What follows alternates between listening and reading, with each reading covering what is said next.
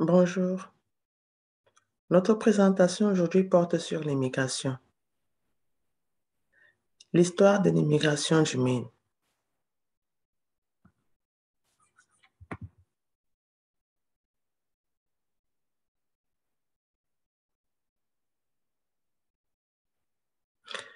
Oui, le Maine est l'État le plus blanc des États-Unis, mais il est de plus en plus diversifié.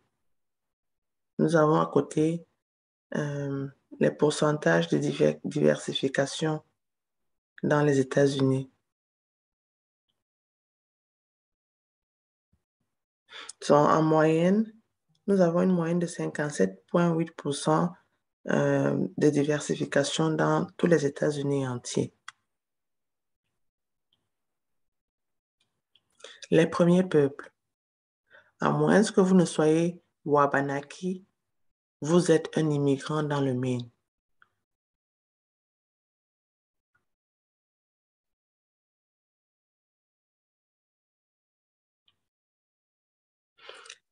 Les premiers immigrants européens.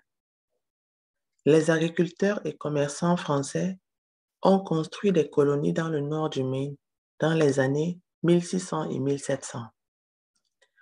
Les colons anglais ont établi des colonies de pêche le long de la côte. Après la fin de la guerre de Sept Ans, en 1763, les Français quittent le Maine. Immigrés irlandais. Les immigrants irlandais sont arrivés au milieu des années 1800. Les hommes irlandais travaillaient dans les usines, la construction et sur les quais de Portland les femmes travaillaient comme domestiques. Ils ont construit des églises, des écoles et d'autres institutions communautaires. Résistance aux immigrés. De nombreux mineurs, c'est-à-dire les gens vivant dans le Maine, nés aux États-Unis, n'aimaient pas les nouveaux immigrants. Le parti n'eut rien savoir dans les années 1850, ciblait les catholiques irlandais. Des foules ont attaqué des prêtres et incendié des églises à Bath et Lewiston.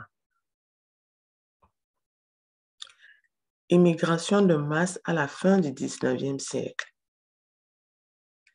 Les cours à bois et les usines de textiles en plein essor attirent particulièrement les travailleurs étrangers du Canada français. D'autres groupes d'immigrants se sont également installés dans le Maine. Les Italiens et les Finlandais travaillaient dans les industries du granit et de l'ardoise. Les Chinois ont ouvert des petites entreprises. Les Juifs sont devenus marchands. Les Libanais travaillaient dans les moulins de Waterville. Les Canadiens français deviennent mineurs.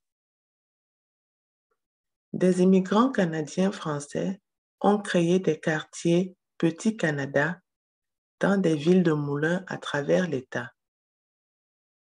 Au fil du Témos, la résistance à leur présence a diminué à mesure que les Canadiens français, au fil du temps, la résistance à leur présence a diminué à mesure que les Canadiens français adoptent les modes de vie américains, notamment en parlant anglais.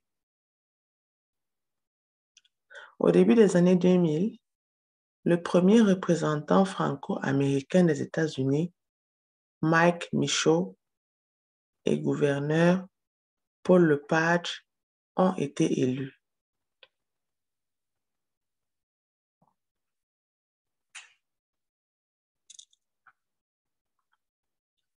Les immigrés somaliens choisissent le Maine. Au début des années 2000, des milliers de réfugiés somaliens sont arrivés dans le Maine après avoir été placés dans d'autres villes américaines, la plupart installés à Lewiston. Comme les Irlandais et les Canadiens français avant eux, ils ont bâti des entreprises et des institutions communautaires pour subvenir à leurs besoins.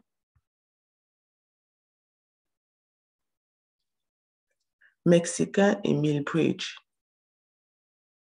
Au début des années 2000, de plus en plus d'ouvriers agricoles mexicains ont commencé à s'installer dans le Down East du Maine, en particulier dans la ville de Millbridge.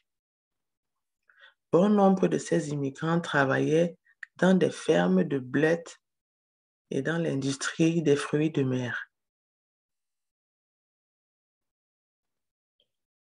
Moyens orientaux à Augusta. Dans les années 2010, des Irakiens et Syriens ont commencé à s'installer dans la région d'Augusta. En 2020, il y avait en moyenne 400 moyens orientaux vivant dans le centre du Maine. Portland accueille le monde. La plus grande ville du Maine a la population la plus diversifiée de l'État. Des immigrants du monde entier se sont installés et ont prospéré à Portland.